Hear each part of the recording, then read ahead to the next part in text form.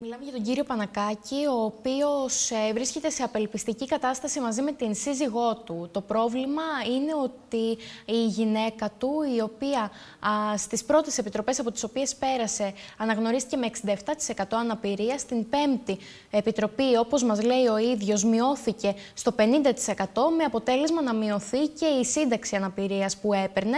Α, στη συνέχεια άρχισαν κοινή διαδικασίες ώστε να πάρει η σύνταξη γύρατος η σύζυγός του. Ναι. Ωστόσο, επικρατεί ένα αλαλούμ, καθώς ο ίδιος ο κύριος Πανακάκης πηγαίνει από υπηρεσία σε υπηρεσία, ψάχνει να βρει μία λύση. Μέχρι στιγμής δεν έχει βρει. Εγώ από ό,τι Έχει διαβάζω, φτάσει- μέχρι και στο Υπουργείο έχει πάει ο άνθρωπος. Σωστά, μέσα στον Δεκέμβριο. Έχει χτυπήσει την πόρτα και τελικά τίποτα. Μέχρι ε, τον Δεκέμβριο, στις αρχές Δεκεμβρίου, Ναι. πήγε α, στο Υπουργείο Εργασίας. Είχε ανέβει και στην Αθήνα, α, διότι τον παρακολουθούν οι γιατροί, όπως λέει, στο Νάσιο. Οπότε, επί τη ευκαιρία, πέρασε και από το Υπουργείο Εργασία, χωρίς όμως κανένα αποτέλεσμα. Μάλιστα, όπως αναφέρει και ο ίδιος και στο παρελθόν, είχε χτυπήσει την πόρτα του Υπουργείου Εργασία.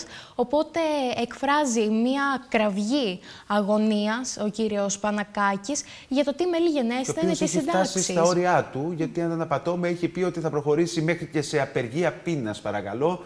Τι χειρότερο, τι δυσμενέστερο αυτή την περίοδο να μιλάμε για απεργία πείνας από έναν συνταξιούχο, οι συνταξιούχοι που έχουν τελικά πληρώσει το μάρμαρο ε, και να βλέπουν τελικά τους κόπου μιας ζωής, γιατί μην ξεχνάμε ότι οι συντάξεις είναι από παρακρατηθέντα α, χρήματα όλα αυτά τα χρόνια τα οποία εργάζονταν και ξαφνικά ο άνθρωπος έχει φτάσει στο απροχώρητο η κατάστασή του. Και μάλιστα, όπως λέει, δεν είναι λίγες φορές που έχουν δανειστεί χρήματα από ε, γύρω τους, από δικούς τους ανθρώπους, τα οποία πρέπει να τα επιστρέψουν κάποια στιγμή, οπότε Μάλιστα. γίνεται ακόμη πιο δύσκολη η οικονομική τους κατάσταση. Πάμε να δούμε τι δήλωσε σε σένα, Γιώτα, α, ο Ηρακλειώτης συνταξιούχος και επιστρέφουμε. Αν εξακολουθείτε να μην βλέπετε φως στο τούνελ, δηλαδή να επικρατεί αυτή η κατάσταση να μην βγάζει άκρη, τι προτίθεστε να κάνετε. Μέχρι απεργία πείνας. Να πάω στο ΙΚΑ να κάνω απεργία πείνας. Δεν γίνεται. Δεν, εγώ αυτή τη στιγμή θα ήθελα να, το, να κάνω έκκληση. Γιατί δεν είμαι μόνος μου δυστυχώς. Στα άκρα είναι ικανός να φτάσει ο κύριος Μανώλης Πανακάκης, η γυναίκα του οποίου έχει πέσει θύμα των τεράστιων καθυστερήσεων στην απονομή των συντάξεων και εκείνος έχει γίνει μπαλάκι της γραφειοκρατίας σε μια προσπάθεια να βοηθήσει τη σύζυγό του για να πάρει τα χρήματα που δικαιούται. Τις γιορτινές αυτές ημέρες το ζευγάρι βιώνει ένα δράμα το οποίο έρχεται ξανά στο φως της δημοσιότητας. Ο κύριος Πανακάκης μιλά στην κάμερα της εκπομπής Κρήτη σήμερα για το χάος που έχει αντιμετωπίσει ο ίδιος και η γυναίκα του. Το 16 λοιπόν δικαιάται η σύζυγος γύρα τους. Έχουμε κάνει αίτηση από το 16 να μετατραπεί η αναπηρική σύνταξη σε γύρατος.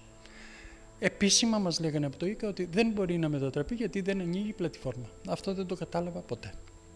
Έπαιρνε τα 200 ευρώ μέχρι τον Οκτώβριο που μας είπαν πάλι μια υπάλληλος του Υπουργείου Εργασίας να κάνουμε διακοπή της σύνταξης με υπεύθυνη δήλωση για να ανοίξει λέει ο δρόμος της γύρατος, η προσωρινή της γύρατος. Το κάναμε γι' αυτό, έχει διακοπεί τελείως η σύνταξη από τον Οκτώβριο, δεν έχει γίνει τίποτα. Περιμένουμε, ναι, παίρνουμε δανεικά λεφτά για να περάσουμε στην, στο σπίτι μας και μας χρωστούν τόσα λεφτά από το ΙΚΑ.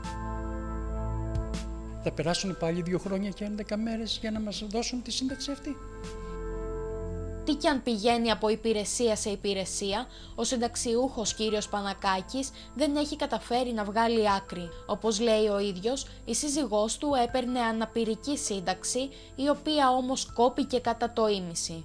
Η μαραθώνια προσπάθεια του ηλικιωμένου για να τρέξουν οι διαδικασίες ώστε να λαμβάνει η σύζυγός του την προσωρινή σύνταξη γύρατος συνεχίστηκε στην Αθήνα και το Υπουργείο Εργασίας. Απευθύνθηκα καταρχήν στη διευθύντρια του ΙΚΑ, έχει- γιατί καθυστερήσατε, μου λέει, μα και να το κάναμε λέει και να απαντούσαν δεν θα άλλαζε τίποτα.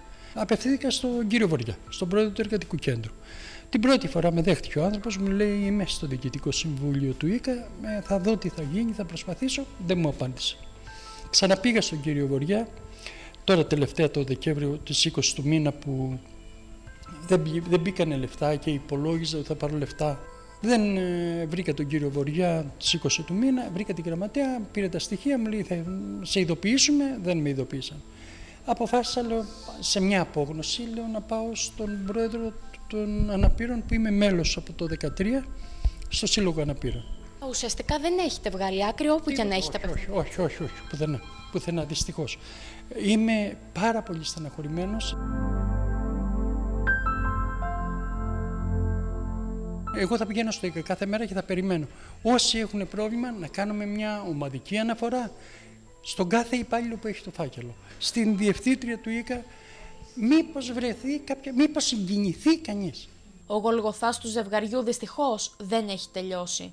Και όλα αυτά συμβαίνουν την ώρα που δεν έχουν απονεμηθεί κύριες συντάξεις από το 2017.